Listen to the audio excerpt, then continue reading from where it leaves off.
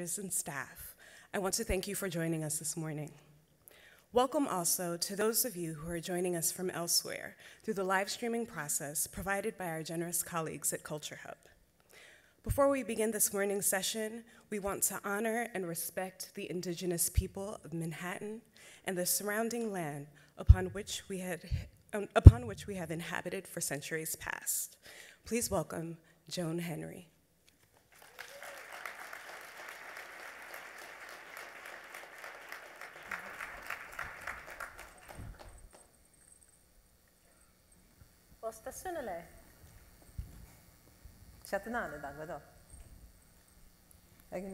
Chichilugi. Er I'm going to ask you to do what performers do naturally and put your hearts out for a second.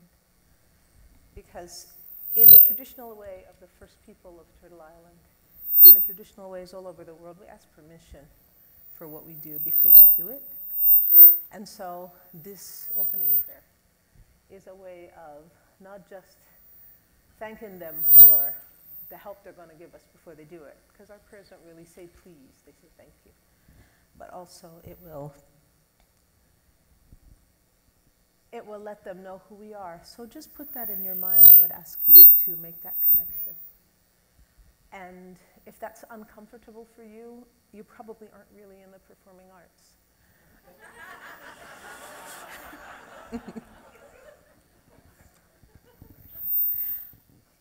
so I'm going to ask. I also have been reminded of the, the kinds of things that went on in this room before, and we'll try and do something about that. My dad would say, You're not going to try. Do it or don't do it.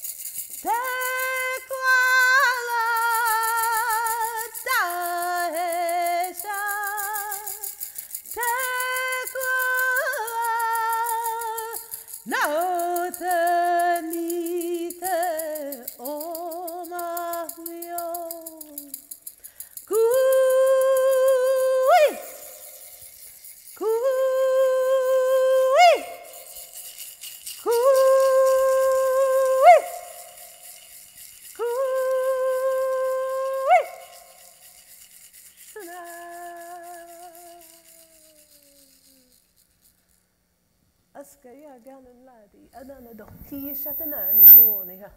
Hi ja de huniski ja de tano giski ja huli ja holi jueji ali gali elika e cielo i uodu no hi ja tu je juone ha. Ja de kanogi shi de daste ha ali shi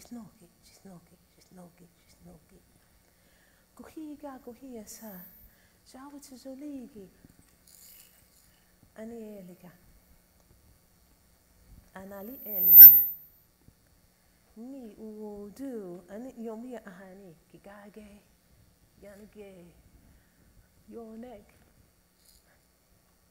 ale dalonege ahani he ale uhlinikina skili ahani he jawite zoligi januodi anadule agadule Ale gohiga, gohi asa.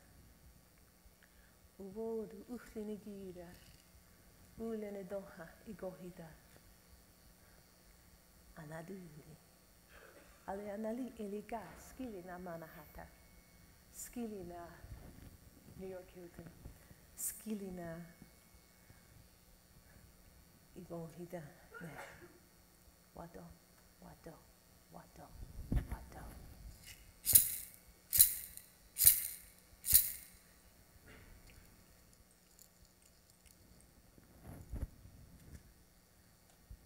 Those grandmothers and grandfathers, each and every one of yours, to see you as the beautiful beings you are red, yellow, white, black, and everything in between.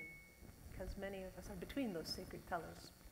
And I asked them to, I thanked them for allowing us to be here at this conference, at this time, in this moment, with the sacred purpose that we're taking on in this moment. It's all sacred. Don't be fooled. It's all sacred. All our arts are rooted in that. All our lives are rooted in that. I thank you for listening. I thank you for participating. Nyaachka.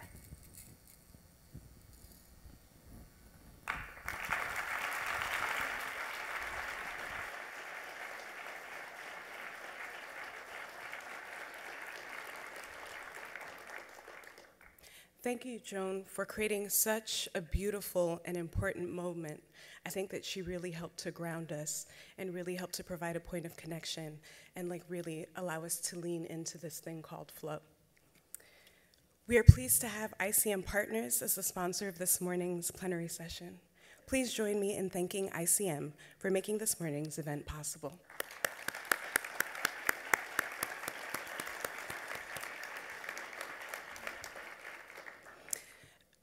You could not help but notice the creative moment we planned to open this afternoon session.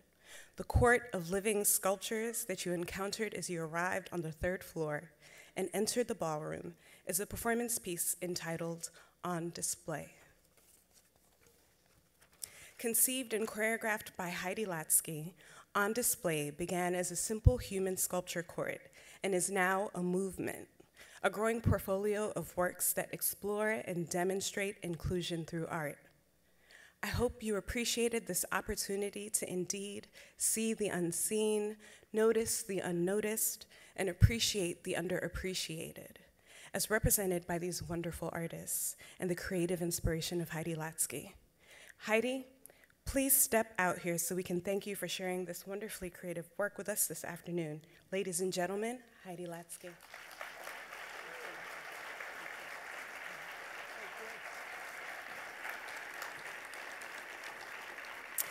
Thank you, Heidi. What a great way to begin the session. So, as many of you know, this plenary session is unique because each year we bring together highly creative individuals who have demonstrated the passion, persistence, and courage necessary to realize their dreams. We are especially blessed this afternoon to have a well known and beloved creative artist and creative thinker with us who will guide the flow of events you're about to experience.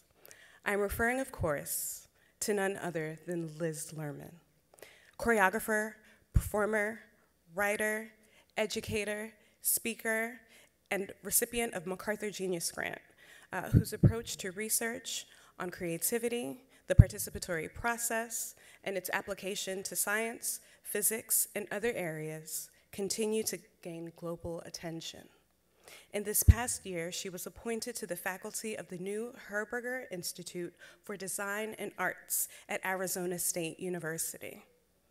And I enjoyed the pleasure of her insight and spirit as conference co chair. Ladies and gentlemen, please join me in welcoming today's moderator, Liz Lerman.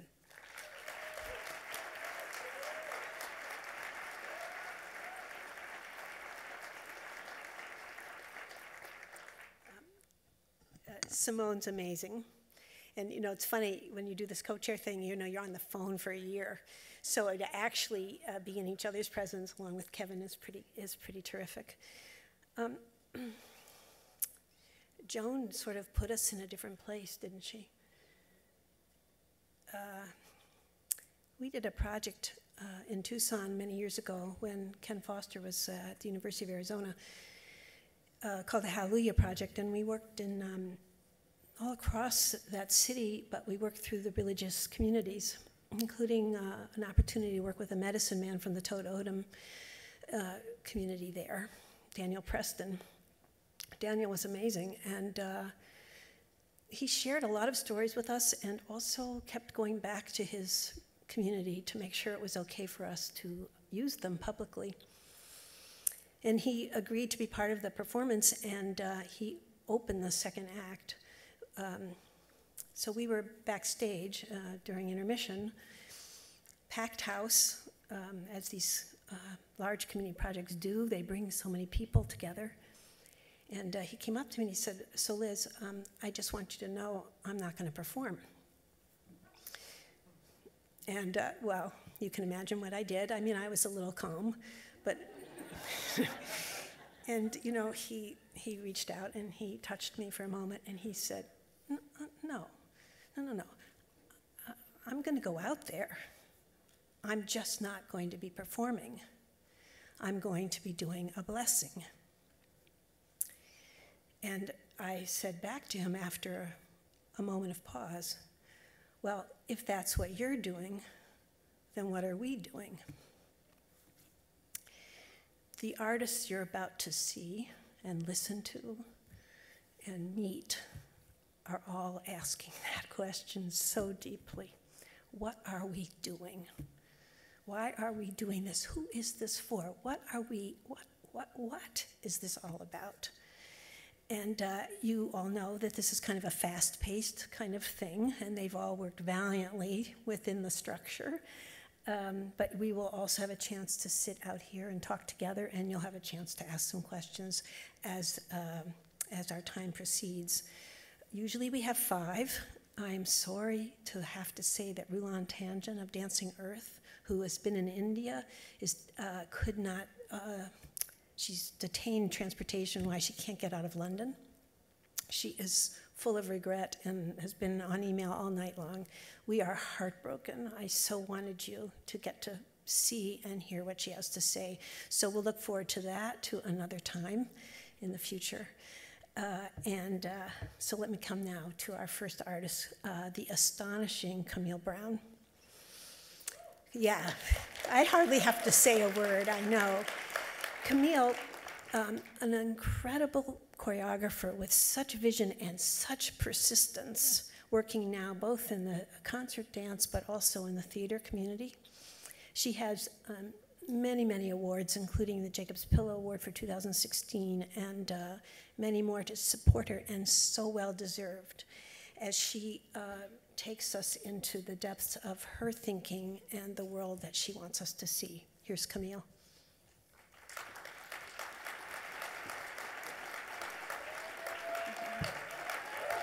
Thank you. Thank you so much, Liz. I'm ready, thank you. Choreography, social dance, and musical theater have been a part of my life for as long as I can remember. As a child, I would choreograph movements to the opening credits of cartoons and entertain my family with impromptu performances during the holidays. My father, a retired parole officer, also coached college basketball but his love was and still is teaching salsa dance, which is a social dance. My mother, a retired social worker, introduced me to musicals. When I was younger, we would go to the library and take out our favorite musicals like Sweet Charity, The Unsinkable Molly Brown, and watch dance scenes over and over again. In 2009, I started speaking my desires to combine concert dance and musical theater into existence. One day, I got an email from a director who was interested in me choreographing a new musical for off Broadway, The Fortress of Solitude. Having no musical experience, this was a crack in the door I was extremely thankful for, and to my surprise, I was offered the job. I found myself learning the ropes of this new world of 10 out of 12s and sitzprobes. I never heard of these terms prior to working on Fortress. Sitzprobe is a German term used in musical theater that describes the first rehearsal which combines both the vocal performers and the orchestra. And 10 of 12s is a 12 hour rehearsal day in which time is spent working on lights, sound, costumes, and other technical elements. The experience was exhilarating and exhausting. It felt dangerous, and I wanted more. As time went on, I started looking within myself and asked what I personally wanted out of the career I had chosen. I wrestled with the idea of traditional commissions and teaching engagements. Those were not at the forefront of what I wanted to do. I wanted to establish myself equally as a theater and concert dance choreographer. The more opportunities I received in theater, the more established I became in concert dance. I was and still am at two different stages of the two aspects of my career, leaping from choreographing musicals to performing with my company on tour. But this exciting new ground also presented a problem time management. The hardship of creating new works, creating nine dance scenes per show, mapping out schedules, and reading scripts seemed to be an overwhelming feat. Schedules were colliding, and the company working throughout the year didn't align with my theater goals. Also, I began to desire a musical theater like process within my concert dance process. It wasn't quite realistic to have a 10 out of 12 stare at a cue for an hour kind of process, but how far could I push this? My mind was spinning, and I knew I had to make some sort of shift in order for this to work. Over the course of a year, I met with my two agents, managing director and production manager, to first explain my career goals and then strategize on how this could actually work. They were concerned, and I totally understood. Some people may not get the 10 out of 12s all day in the theater staring at a cue for an hour kind of format, and maybe see this process as difficult or wasting time. They knew how important my company was to me and didn't want anything to affect our reputation. Fair. It wasn't just about convincing them, it was about getting the presenters we engaged with on board. We had some challenges, but it was new territory, so that was to be expected and I want to thank the presenters and organizations who have supported me on this ride. Together, we are all working to create a healthy balance. This shift would affect my dancers the most. One of my priorities has always been to support their career goals. They are teachers, choreographers, real estate brokers, and mental health counselors. I met with them and explained our new structure, that our gatherings would be more sporadic but the space apart allows everyone to be complete as individuals and artists need to be. They got it. While I personally was not conflicted by my choice to navigate between artistic genres, others were processing it differently. And here are some of the questions and comments I got. So, you're getting that good money now. Which one do you love more? Oh, you won't be able to do both. Promise you won't stop choreographing. You've worked so hard, and your company is in a great position now. The last one in particular bothered me because it implied that somehow one genre was lesser than the other, and there would be some sort of a loss, as if, there cannot be brilliance and mastery in both spaces. My theater and concert work combined have dealt with issues of gentrification, mass incarceration, black female objectification, African and African American rituals, minstrelsy, the Great Migration, the history of social dance, Afrofuturism, and Shakespearean literature. Concert dance is my first language. It teaches me the importance and value of creative freedom, process, and performance. It gives me the space and time to create as the director, I drive the ship, and I'm in control of the vision, and am free to be uninhibited and purely creative. It is my place to tell my story. When working in theater, I create the vision of the director and playwright. I am a collaborator on someone else's ship. Although I do understand my team's initial concern, I already knew that our conventional way of working might be described as unmanageable. And as a woman, as a black woman, it is also important to talk about the double standard of gender and race. If I were a white man endeavoring to do the same thing, I would be characterized as being fearless, direct, and persistent. Part of my growth is realizing that the most important part of this journey is to be true to myself. All I can do is be clear about my goals and never be swayed. I am riding my wave and feeling my flow with the understanding that for me, theater and concert dance coexist, and this union has inevitably strengthened my ability to tell stories. Thank you.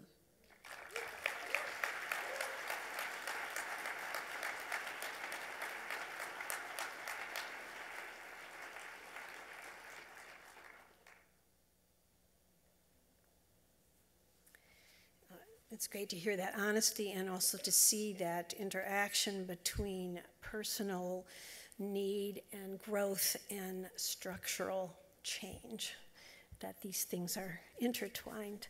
Um, our next artist is incredibly accomplished, and in these introductions, I decided actually it's, you can read about all the amazing things that Gregg has done. Um, I'd rather tell you about the time I sat in the Kennedy Center and watched Diagnosis of a Faun and how incredibly changed I was by that performance. I know we say that a lot, you know, I was transformed, but I was. His performance, what he and the cast showed us, the way the story changed, the world changed, our way of seeing completely changed. He has much to tell us about this. Um, yeah, so just listen and the other thing I always think when I'm in place, I know we have these beautiful images that they're showing us, but also pay attention to those images coming into your own imagination. See what's happening. Gregg Mozgala.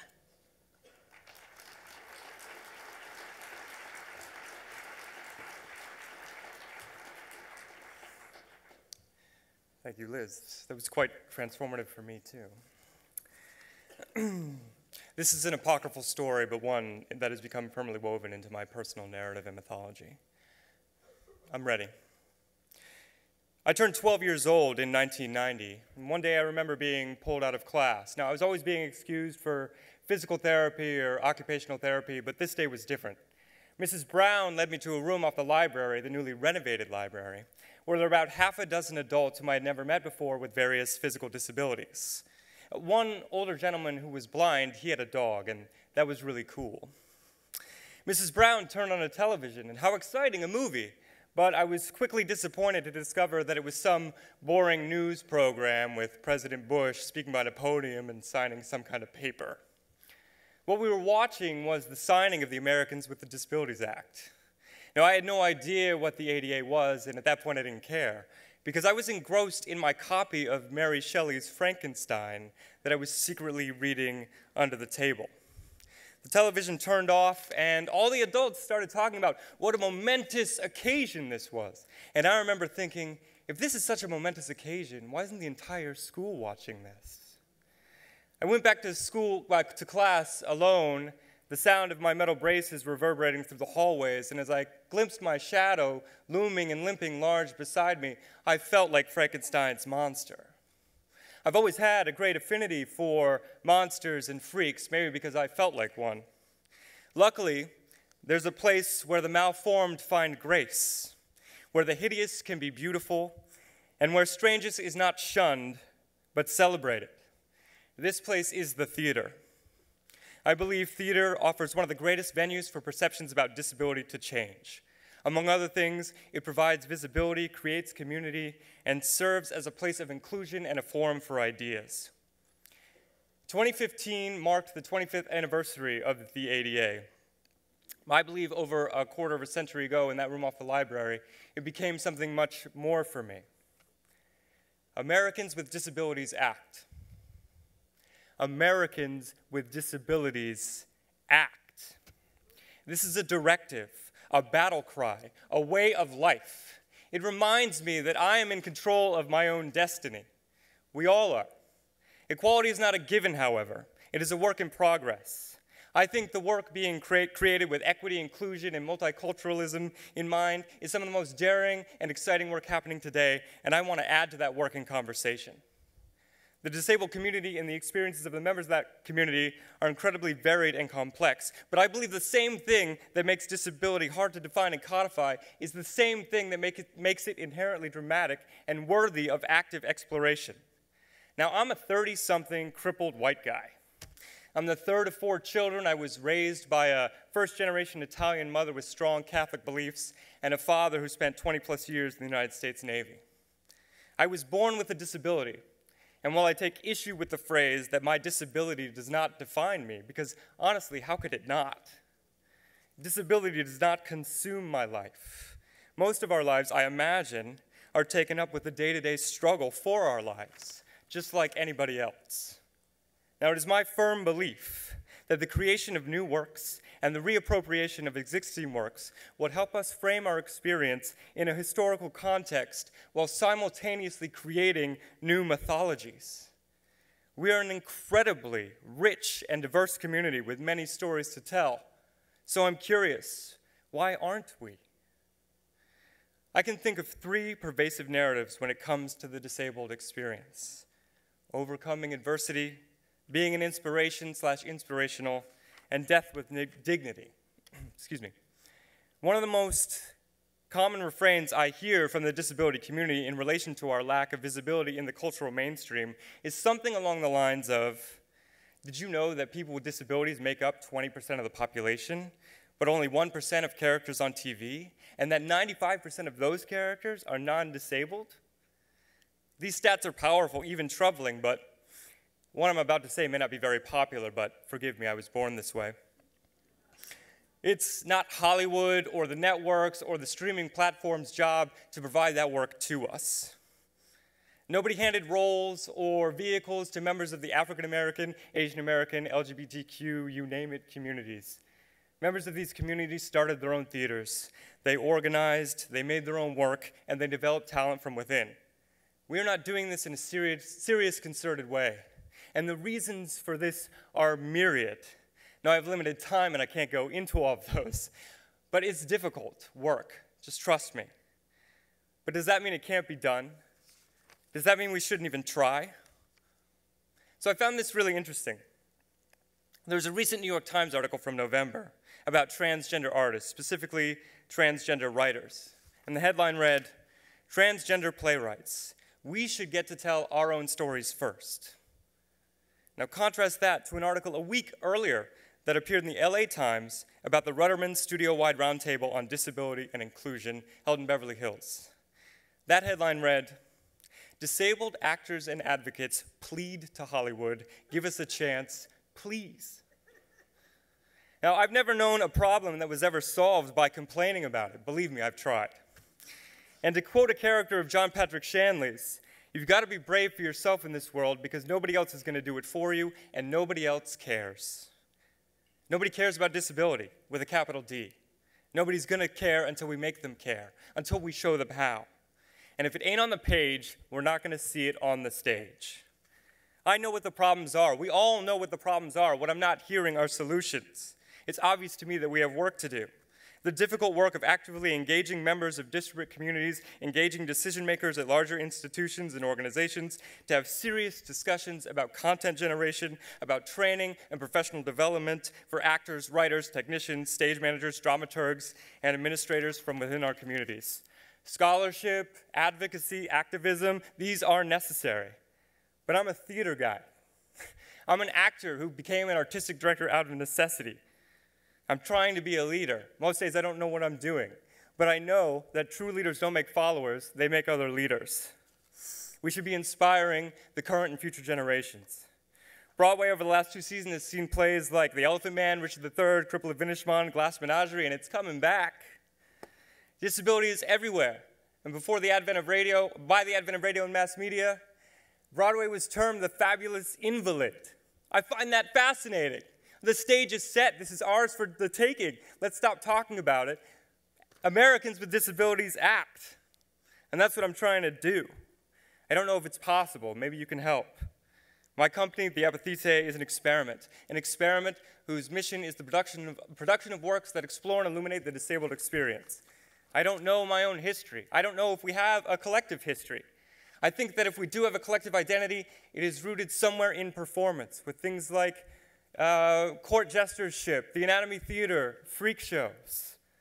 I think that I would like to continue to find the disability community through my artistic practices because I know that the disability community is a series of communities with a series of histories and a series of stories just beginning to be told. Thank you.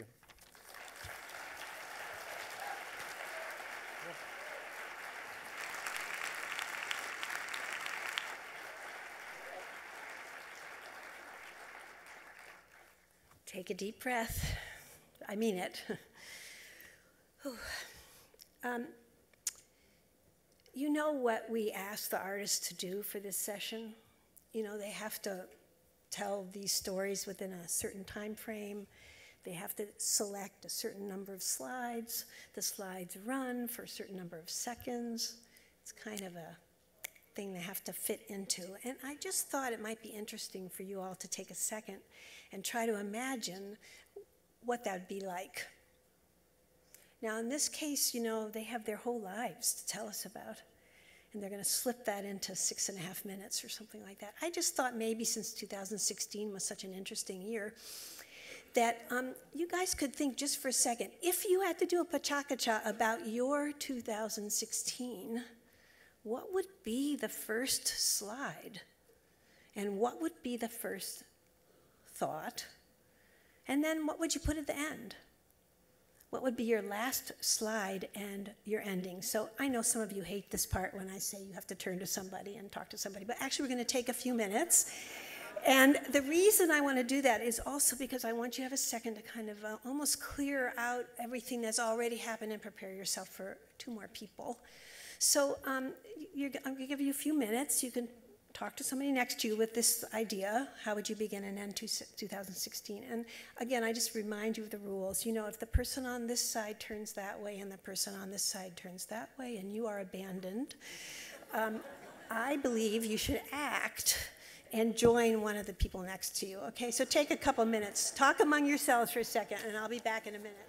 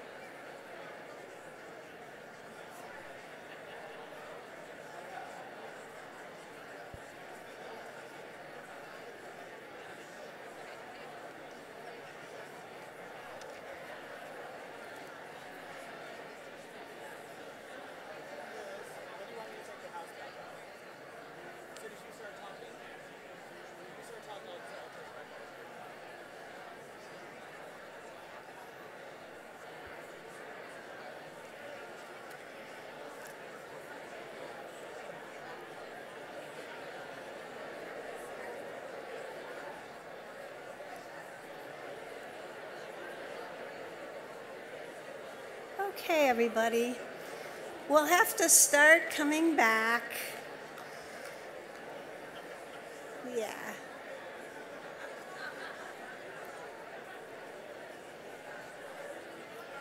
You can kind of finish the sentence you're on.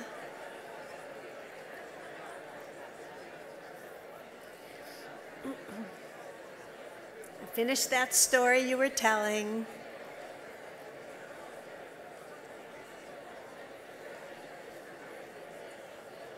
Okay, you're done. And you're back. Here we go. We're back. Where's our stage managers to bring us back? Yeah, I love that expression. After a break, we're back. We are back. Um, one of the great joys of uh, traveling around the country and visiting other communities is getting to meet artists as we travel along. Or if we're lucky enough to be home and artists come to our community, we get to see them. Such was the next artist for me, Paola Prestini. Uh, I found her work, again, extraordinary, and I was thrilled to see this uh, beautiful woman composer doing her work. And then we had some interesting conversations after that, uh, trying to manage, um, well, when to have children and how that was all going to work out. And uh, there is a sort of whole other set of conversations we have among ourselves. Uh, What's interesting to me now to see the beautiful work that you're going to see in a minute of Paola's is uh, also something we've beginning to hear from uh, some of our artists and see, which is the way we support each other, the kinds of platforms we build so that we can all move forward together. This is an amazing story. Paola?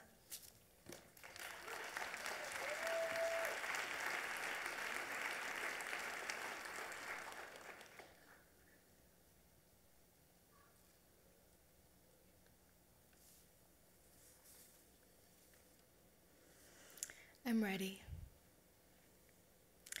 My musical life began on the border, near that fence. Looking back, the division, disparate energy, wishes, and dreams informed every aspect of my DNA. We had immigrated from Italy for a life on the border, on the Mexican border. My parents quickly separated, and my mother and I began our life as a team. My mother's ability to face the unknown and the seeming impermanence of our life was an inspiration. Those complex steps of the past informed how I approach my life to this day. I always thought these steps paint the perfect image of Juilliard small, difficult steps that lead to more steps, a pyramid with no top, a steady climb. the 10 years following my graduation from Juilliard were seminal. I started my multimedia production company, VisionIntoArt, and I failed continuously. The failures, of course, were, uh, were the moments that taught me the most, in that they forced me to rethink success. And in the end, I learned that a steady climb for what I was trying to accomplish was more fitting. I learned to trust my inner compass. In school, I knew I wanted to be a composer and a multimedia artist. I'd experienced tangible limitations as a woman composer and realized that the only way I would be happy would be to create the context for my life meaning it was not enough to commission myself. It was not enough to create opportunities from only my works. If I didn't attempt to fix my surroundings, my own path would be limited and my future not as bright. I took to heart the words of a great kind man, Paul Soros, from whom I received the Soros Fellowship, the only award I've won to date. He said, If there's only one piece of pie left, don't divide it, make more. In my 20s, Philip Glass came to see one of my early VIA shows, and I thought he was going to tell me I was awesome. I had arrived. That didn't happen. Instead, he told me to focus on my own work, and that until my music was strong, I could not cart around a community. I learned then that collectives rarely work, and I need to own my music. I needed to own my leadership. Seven years ago, I got a call that changed my life. A man named Kevin Dolan wanted to create a space for composers. And by the way, that's not Kevin. I had the blank slate to create a home for artists, and I could create it from the rubble up. That was what was the seed for what is now National Sawdust. Kevin had a resolve and $8 million, and this was his statement. I understand that for many, music is fundamental to their being, and to some, it represents a salvation of sorts. So the basic purpose of this endeavor is to help composers and performing artists, particularly younger folks and future artists. Music had saved Kevin, and as it has for many, and he wanted to give back. I became his partner in crime, and for seven years, our team of designers, acousticians, and architects worked on that building. And for seven years, I worked on a mission and on raising the remaining eight million to launch our dream. The building blocks for National Sawdust in many ways resembled building VisionIntoArt. We built a clear mission, did shows in our raw space, and did ex situ shows to attract an audience base. We took hundreds of meetings and built a board of adventurous donors. And today, we have a soaring, daring, beautiful space that hosts 350 performances a year. As community was important to nurturing my evolution, National Sawdust is about artists and the artist community, and it serves the 21st century artist, one who is part entrepreneur, educator, and activist, by giving them performance opportunities and resources to rehearse, record, and distribute their music. It was important to me to help create a bridge from emerging to professional life, as this is what was truly missing for me as a young artist in my 20s. As an artistic incubator, we help seed and commission music and music based multimedia works and give artists the opportunity to create ambitious works that may not fit in elsewhere. Our residencies are year long and they include guideposts for the next phase of their careers. Curators serve as artistic guides and discoverers of new music. And each residency is tailored to the artist and it's given one on one time with our team financing, and physical space. And that's a little diagram of how this kind of circular education works. Our newest initiative is one I'm very proud of, and it's called The Log. Um, it's our criticism wing, and it helps create a forum and context for artists and audiences by bringing on the esteemed journalist Steve Smith, the only reviewer at the New York Times that I wasn't afraid of. Um, we, we hope to acknowledge and reinforce bonds that have always existed between artists and the media to frame those bonds within a context of a mutually sustaining community. And each year we choose a large theme to explore as an institution. This year it was opera and activism. We produced 10 operas and commissioned works of artists who see themselves at the edge of their craft and who dare to grapple with today's searing issues. This is a slide from the unbelievable show Requiem for a Tuesday by Helga Davis, Devonté Hynes, and Reggie Regg Roc Gray. Um, at National Sawdust and in my own works, um, big multimedia works, which we'll see in the following slides, I tend to plant seeds and I let them emerge at the right time.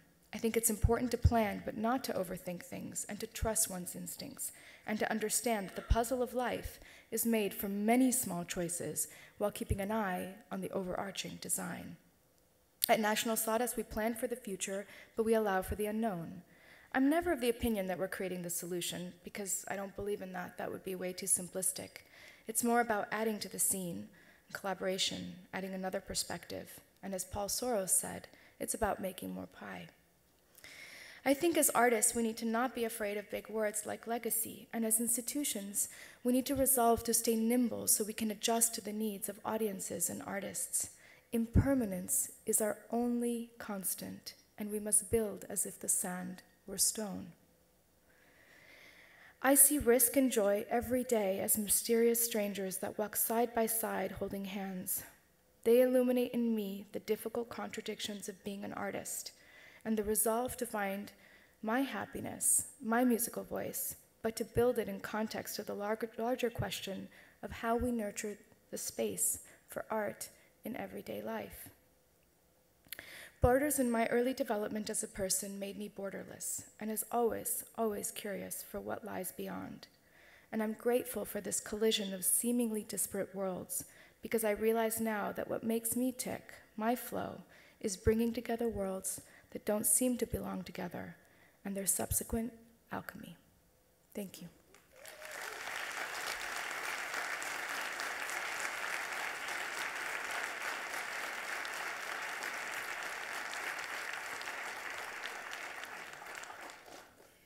Some of the um, wonders of partnering are the people that you get to meet. And uh, one of my science projects, I uh, was taken to meet one of our Nobel laureates, a fruit fly a, a geneticist. And uh, in, in, speaking with him, uh, I, I, was curious how he asked himself a question, you know, what, what sort of sustained him in his inquiry. And I said, so I asked him that. How do, how do you decide on the questions you ask? How do you sustain it? And he said, um, I'm fueled by my ignorance which I kind of loved. Like this drive, uh, this persistence to try to understand. But I also know as an artist, one of the things that maybe drives us crazy, it's not so much good, bad, as it is when we're misunderstood. how we feel about that. What do we want to do about that? Our next artist, Maysoon, has a lot to tell us. She, um, we were together at ASU for a couple of months, but we could never find the same second to be in each other's presence until I got to see her performance. And um, I wasn't prepared for it, and I cannot prepare you for what you're going to see. Maysoon.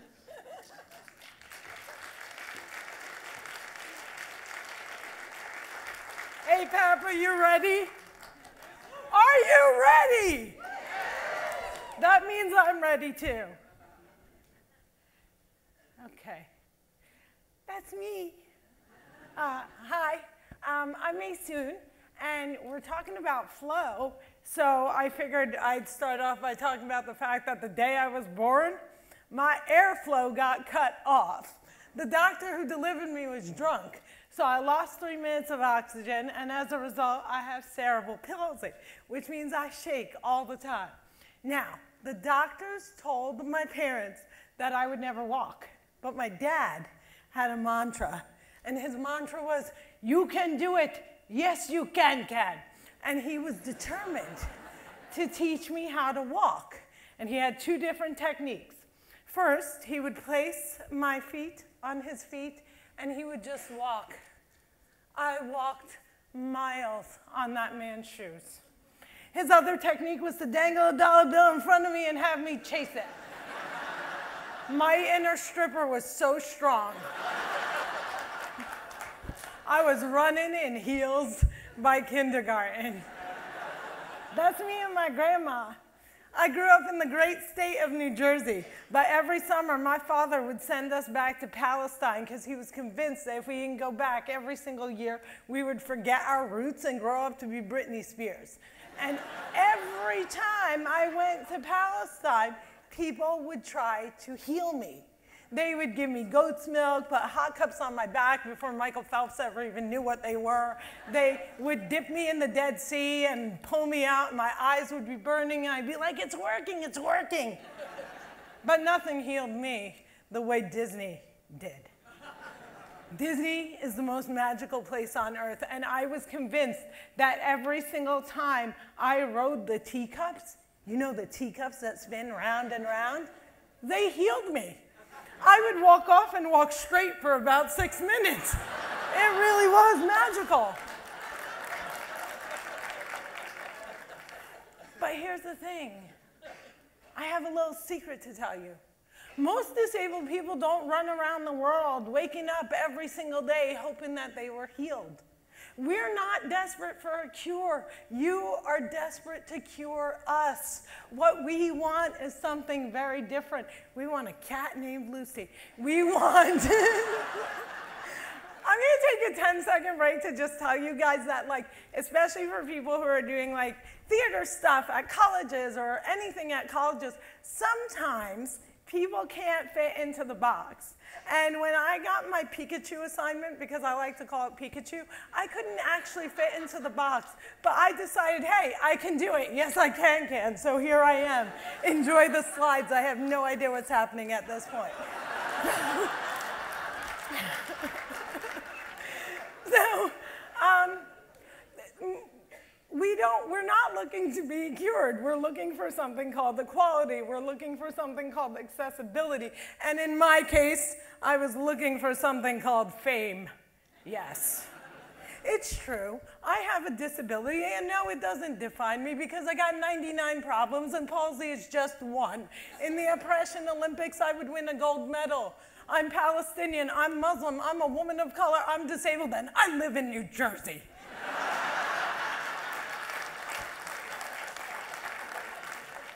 So, like most Muslim girls in this world, I had a dream, and my dream was to star on the daytime soap opera General Hospital. So, I went to Arizona State University to pursue my dream, and I didn't get cast in anything. Why? Because college was reflecting life. Hollywood has a horrible habit of casting non disabled actors to crip up on screen. And we in the disabled community, we're not a monolith, so I do know one girl who disagrees with me. But we in the disabled community believe that visible disability, much like race, cannot be played. So if a wheelchair user can't play Beyonce, then Beyonce can't play a wheelchair user. But I looked at the screen, and even though I didn't see many images of disability, I did see people who looked like me. I saw Richard Pryor. I saw Muhammad Ali. I saw people who did comedy, and I decided to become a comedian. And I toured the world doing stand up comedy and even did comedy in the Middle East, uncensored and uncovered. And what I didn't know was I was supposedly the first person who ever did stand up comedy in the Middle East. I don't think anyone should ever claim first. I'm sure there was someone in 1950 that no one else knows about. But that's what they said to me. And what I did was I got to establish it as a women's art form. Usually people think women aren't funny, especially when they're dressed like that, but we are hilarious. so I'm just going to backtrack to one of the other slides because it's really how I want to end, which was that was my class. I went back to ASU after I got famous. They were like, no, we'll cast you. Um, but I want to backtrack to one of the other slides, which was a picture of me and Muhammad Ali. Because I believe that after 15 years of doing comedy, my life has changed this year. Muhammad Ali symbolizes for me everything that was great in America that is now under siege. He was a man of color. He was a Muslim. He wasn't a draft dodger, he was a conscientious objector. He floated like a butterfly. He stung like a bee. He had Parkinson's and shook just like me. And now I suddenly live in a country where I no longer feel safe. The greatest has gone. What will we replace him with? And this is what I ask you. The world is broken, but we can fix it. We can fix it by saying no to arming violence worldwide and saying no to violence on our campuses. I should not feel safer walking by myself at 2 o'clock in the morning in a war zone than I do on an American college campus. We can do better, and we must do better. And you can say it, and you can fix it by saying no to being silenced. Your voice is your weapon against inequality. I beg you, use it. My name is Maysoon, and if I can can, you can can. Thank you so much.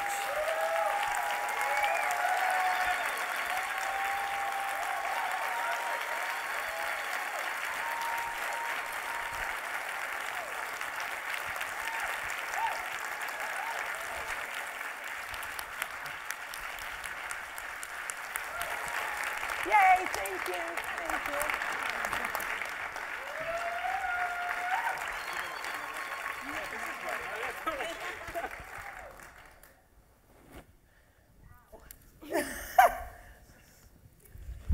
Awesome, you guys. Just have to say, incredible, all four of you.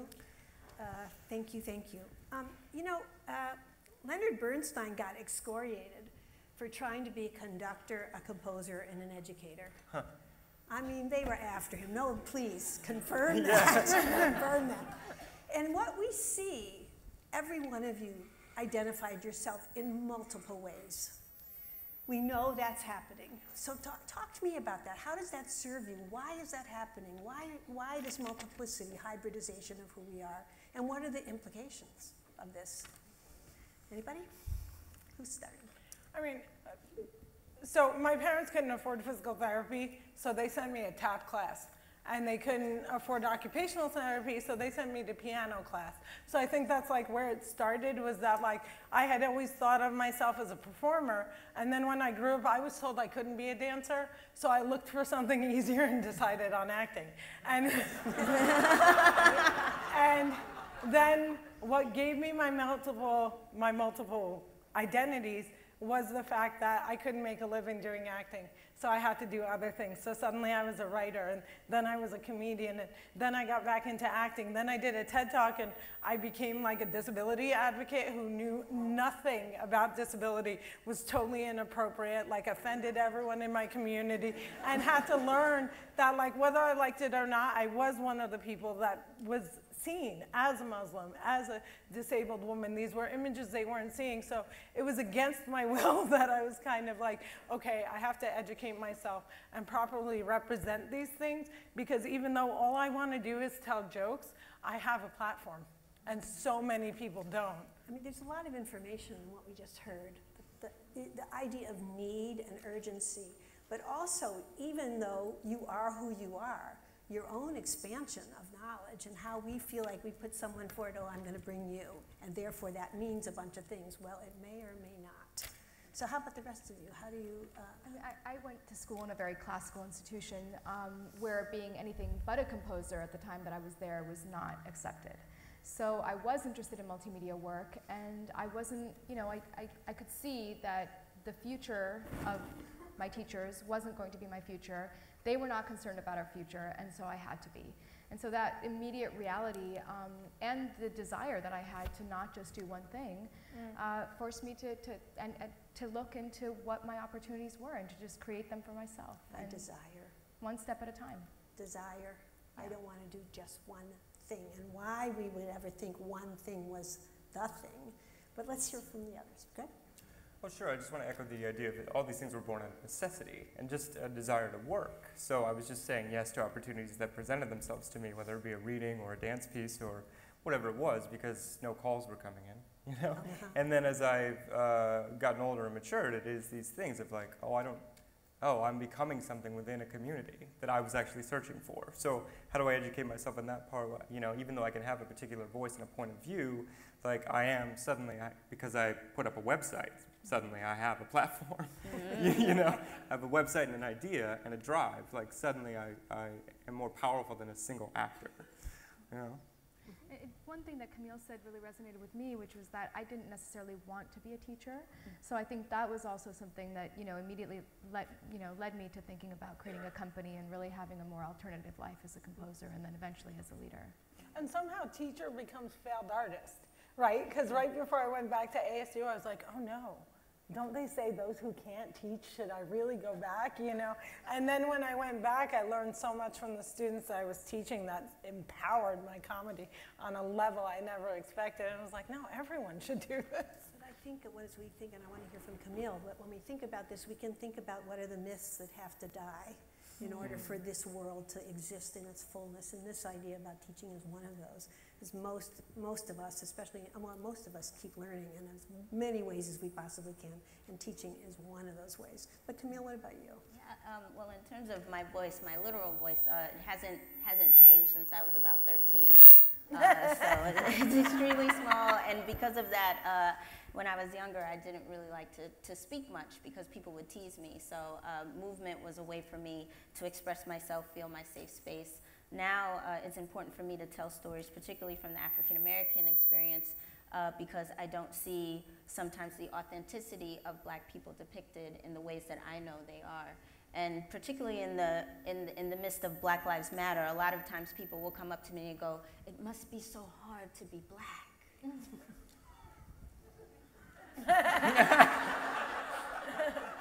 There's a lot of work that needs to be done.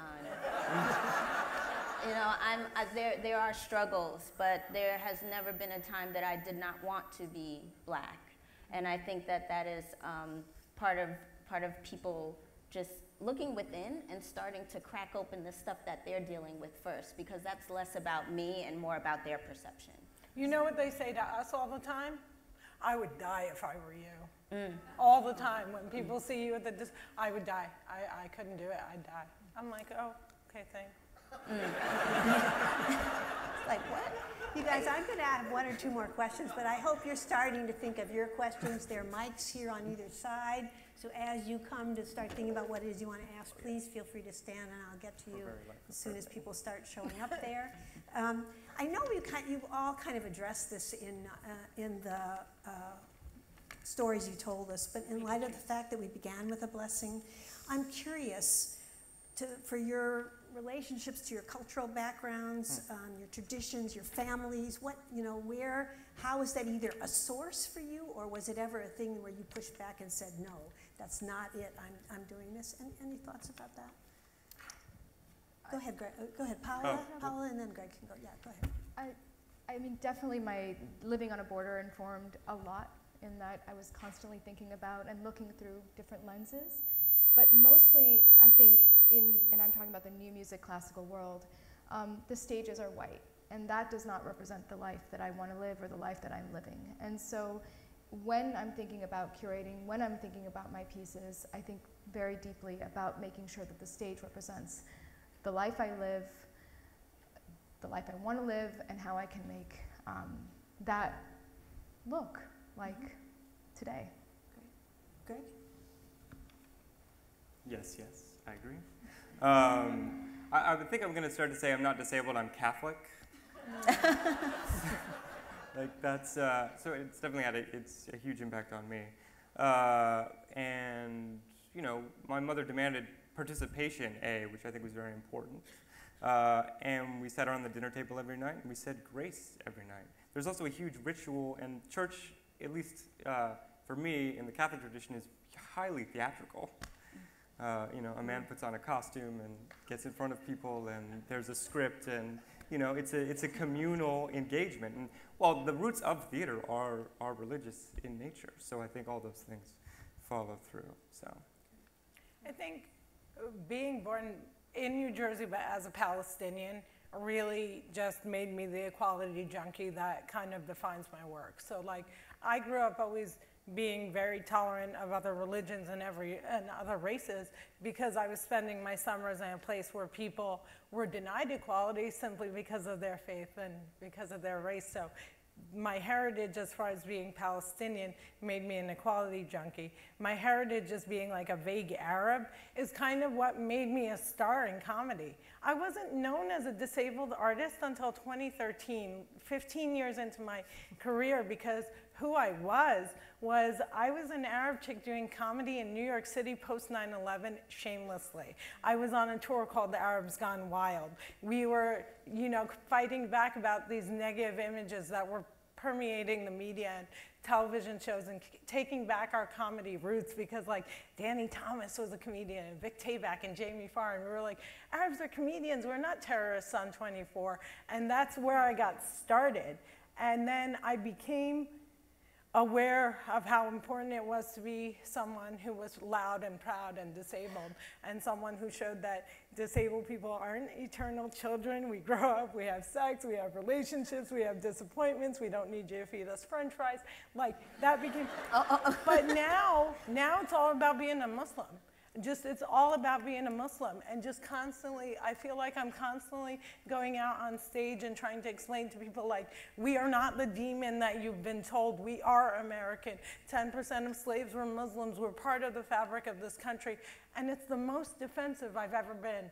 My other identities I felt like I was so empowered whereas with being a Muslim woman in America in this strange orange apocalypse has really changed what I focus on. I've been much more vocal about my faith. So just, I want to ask one more thing here, and then I see people are starting to come, so I'll, this, I'll, please add on on the microphones. But just as you look at the, the four of you, and uh, if you were designing, you know, a, a performance platform for this group, and saying, okay, how would you do that? What would you say? How would you link yourselves together? How would you say, here we are, America, this is it, this is who we are? Extremely talented, regardless of what our separate identities are. I think for every single person sitting on this stage, just seeing a bit of their work, these are people who are amazingly talented, and all the other identities are gravy. Okay, and how else would you do it? Well, how would you say, hey, you guys, come see this? Well, we got dance, theater, music, and comedy. Yeah.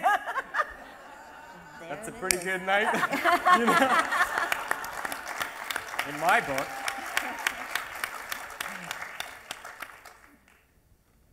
We'll start here. Hi, my name is Sam Simon. I uh, perform the actual dance, and I would have two offerings.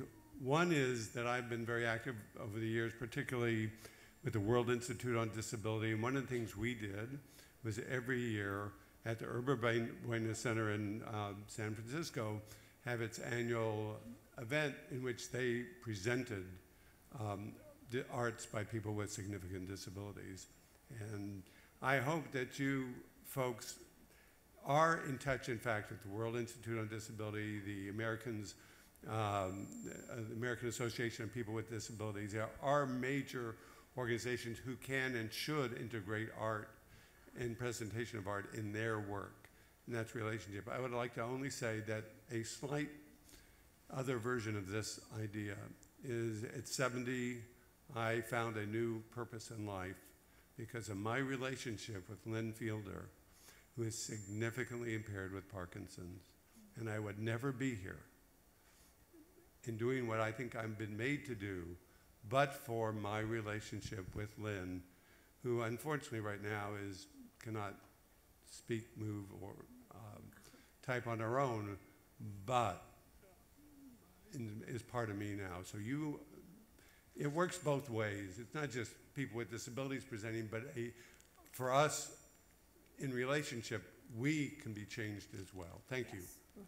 Yes. Does uh, And I- anyone want to reflect on that? Can I just add, I I think um, my, just obviously, if you heard me talk, I think my, maybe not, but my definition of the disability community is always, it's a question for me, I don't know. But I, for me, it's never, it's, my experience as a disabled individual is an integrated one. You know, and I don't think the disab- disability community is just people with disabilities. You've got parents and families and lovers and caretakers and aides and everything else. Like, the sphere of influence is broad. You know, so yes, it's not just, we're not about cloistering ourselves. I think some of that is important at times and necessary uh, for a community need, but yes, it's all, it's about, to just, to just be with disabled people, A, is not interesting to me, and personally, and it's not reflective of my authentic experience. Um, uh, Marc Bamuthi and I, for a day and a half, got to spend time here with 24 artists. It's a new part of what uh, APAP's doing, and we spent a fair amount of time talking about this idea of spheres of influence. Mm. This, this notion that not for us to get so narrow and to think about the who's touching who's touching who's touching who when we think about how we want to bring our work into contact with people. So I'm so glad you said that. And that list that Gregg just rattled off is profound mm-hmm. for us to think about. So thank you. Yes. And could you introduce yourself? That'd be great. Hi, my name is Aaron Cooper. Uh, I'm a student at LIU Post in Long Island and an aspiring director and actor. Uh, my question for you all is how do you create work that is not only truthful but can be controversial without facing isolation? Okay. Oh, you can't care about Or is that. isolation okay? I mean, Go yeah. Yeah, you, you can't care about that. Um, you can't control how people are going to react to your work. All you can control is the honesty that you put in creating that work. And it's going to let, let the work speak.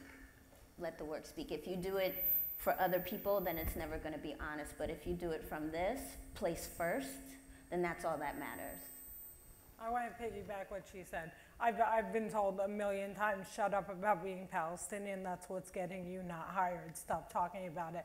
And the decision that I made was number one, exactly what she said. I do my work as if there's no such thing as censorship, as if there's no such thing as racism, bigotry. I just do the work that I want to do. The audience that needs to hear it hears it. And that audience that I'm talking to rarely hears their voice. So that kind of empowers me. But also, I don't want to work with people who don't want to work with me. And not because I'm a diva, I'm better than everyone, but because I know that my message is equality, equality, equality. If my message of equality makes you uncomfortable, if you think my mere existence is controversial, you're not the person who's going to amplify me. I'll find someone else Well, but to let's hear so. for a minute. Paola, I'm interested from your perspective about the nature of an incubator and how many people in this room are engaged in trying to incubate work, move work along, catch work at a certain phase.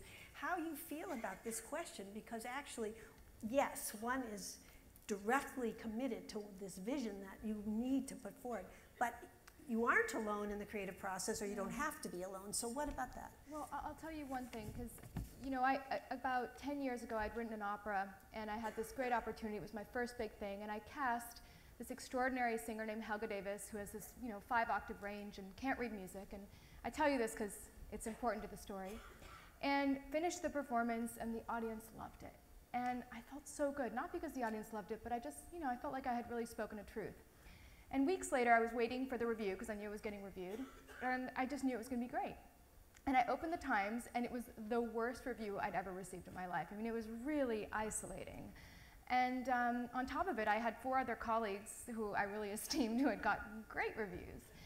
And you know that that really stung. And I think we can we can say that it doesn't matter what other people think, and it doesn't in terms of the content. But I do think that you know acknowledging that criticism is a really functional part of our society, and we have to accept it and find our private space of creating and nurture that, and find the right people and the artists who support you, that you so that you can create that work in a world and an industry that is constantly changing and is very hard for artists. So, you know, that's another reason why I did start what I started because I wasn't getting the opportunities and I can't do anything but create. I mean, I, I can't do anything. There's nothing else for me to do. Mm-hmm. So I had to create that opportunity. But criticism is um, it's a complex one that I still grapple with and I still think about. And I, like every time, now I can't do anything without getting reviewed and I, I, I really, it stresses me out, which is another reason why at Sawdust we often don't invite reviewers for a lot of work. We call things, you know, in progress all the time until the artist feels ready to call it not in progress. So it's complicated. Yeah, and I know, I know I kind of straddled two things because I know we're talking about two separate, kind of separate yeah, things. You, you brought in some additional information, but I think it's useful. Camille, you want to say yeah, more? I just wanted to say, um, just in terms of the criticism, I think that's why it's so important for you to validate your work for yourself before yeah. you let other people Definitely. do that, um, because it protects you and it cre creates that safe space. Also, you have to know the consequences. Mm -hmm. You know, what are the what are the what are the losses, what are the gains by you by you going out and doing this? I named my my piece Black Girl Linguistic Play. I knew that possibly most presenters were not going to be interested in it because the, the title was Black Girl Linguistic Play, and people did not want to talk about race, you know? And I said, okay, I have to be okay with that. Um, thankfully, that's not what happened. People actually started responding to it, but wow, how would I feel if I would have changed the name in, in order to kind of shift and make people comfortable? And it's not about making people comfortable sometimes. Comfort for me, uh, I get worried. And I just, I I really want to add this. Every when I, I just I just signed a deal where I'm doing a comedy series with a network. Every single person told me if you attach yourself as the lead, this will never get made. And I waited seven years to get it made. So you decide what to sacrifice and what to not. So like that project for me was no way, I'm not going to let a non-disabled actor play this role. I know that there's no actress with CP that can do it better than me. I'm willing. At the same time, I did comedy shows that didn't mean a lot to me so that I could put bread and butter on my table. So it's not always a fight, like fight the battles and then do the work so that you can survive and grow and make the mm-hmm. connections. So let's hear another question. Thank you. Hello, my name is Paula Dion Ingram, and I am a singer. And I just want to first say that it's my first year here at APAP, and a huge thank you to everyone who put this together because you can feel a little lost your first time. And um, I just think the blessing that started this off still is speaking to me in a way, and I want to just say thank you to you all as artists, first and foremost, for bringing your authentic self. My question is this we all have to make choices. I had a career first, and then I had family, and I'm doing a career now continuing my career. What is home life? Not everyone chooses marriage or children, but how do you balance that part of you that is your foundation with your dreams and aspirations to go far? How do you balance it? You want, who, who wants to start? Paola? If you want to. go ahead. No, no, go ahead. um, patience with myself. You know, I, I patience with my career and patience with where it's going and patience for, you know, my family who, you know, are incredibly important to me and suffer at times and patience is the word. Um, knowing that the, you know, you, you don't change the image of yourself. You just, you just um, allow yourself to, to take one step at a time, you know, and, and, and you'll get there and it may be 20 years later than a colleague, but it doesn't really matter. It's your life, and you have to choose the assemblage of things that are important to you. Camille? Uh, I'm, I'm honestly still trying to figure it out. Uh, Self care is probably the hardest thing that I've had to do, harder than creating work. Uh, I drive myself down, and I think that we are conditioned to think that if we don't rest, then you're not working or you're lazy. At least that's how I was conditioned to think. And uh, I had to personally work at making sure that I cared for myself first because there's the product and there's Camille. Uh, and really making sure that above all that I put Camille first and, and it's still a, a work in progress that I'm trying to work through. I'm uh, responsible to the clock, and the clock is moving, so I want to catch a couple more questions if possible. We won't be able to hear from everybody, but um, let's at least get one more question in. Yeah. Hi, thank you so much. My name is Maria Regina Firmino Castillo, and I'm an associate artist with Dancing Earth, and I'm also a soon-to-be um, PhD in, in dance studies and performance studies. Um, and I have a burning question that's related actually to my academic, both academic and artist side. Um, I'm, I'm curious, and this is a question to everyone, um, but provoked um, by something Gregg uh, uh, Mangala said. Um, I'm sorry, Mozgala said. Um, the question is, can we imagine an ontology of freak, of the other, um, that's different for the society that we share? And this question is informed by um, indigenous ontologies, indigen indigenous um, ways of defining reality and, and hierarchies and, and what exists, what doesn't exist, what has value, what doesn't have value. Specifically, I'm thinking of um, in uh, Quechua and Aymara worldviews, uh, the, the disabled, and I'm putting that in quotes because it's a very culturally specific term, right, with a historical background that's very, very um, wrapped up in power and all kinds of things like that. So um, in the in the Quechua and Aymara worldview, Waka is anything that is sacred, and uh, so-called disabled people are considered Waka in that worldview. Um, and so th this question is also provoked by what um, Gregg said about the collective history of disabled people, and it's all wrapped up in performance. And when I heard that, I thought to myself, that could also be the same um, I, I, just played with thinking about that in terms of indigenous peoples. And, you know, also, right, sideshows. And uh, in the US, this was also uh, the big spectacles made, made with indigenous culture um, still. Mm. Mm -hmm. And, and, and the other, right? And then the freaks that the society is making um, related to the fears and so how can, how can performance play with that and turn it around? Also something that I love that Liz said about killing myths and what are the new myths, the new ontologies, the new ways of uh, envisioning uh, possible Thank realities you. around that. Thank you. Thank you. Gregg? Yeah, that's a that's a thesis right there. I think, um, but I, I, can tell you what I'm doing and sort of what I'm exploring at the moment. And my thinking has evolved on this, and I'm sure it'll evolve again. But I think in this day and age, it's a, it's a radical experimental act to put a disabled person on stage or in film as a disabled person. And uh, I've been experimenting with this, and people don't quite know how to take it. Um, or it's a, it's a new, it's strange that it's a new idea, right? Even though, but I'm interested in the history uh, that we were on stage and, and put on display for centuries and eons, you know, before. So I'm, I mean, I'm interested in finding vehicles or material where there's seamless integration of character and disability.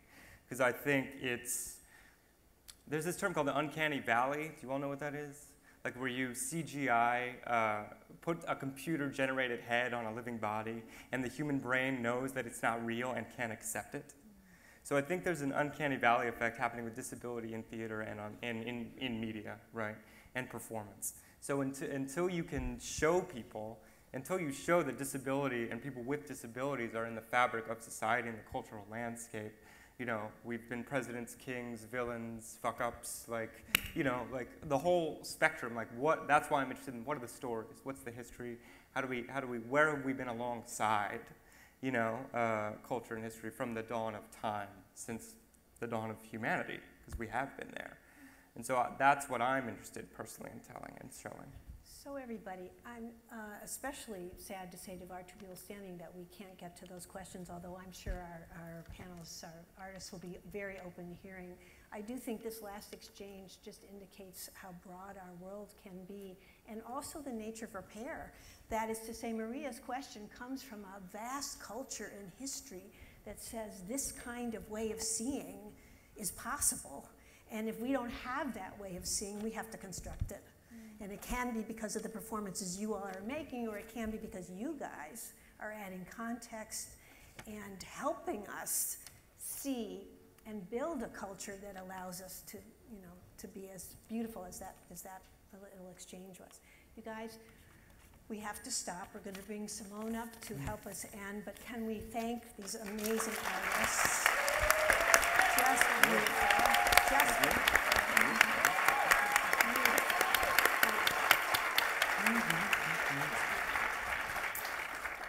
Once again, please join us in thanking Liz and the speakers for a thoughtful and inspiring session.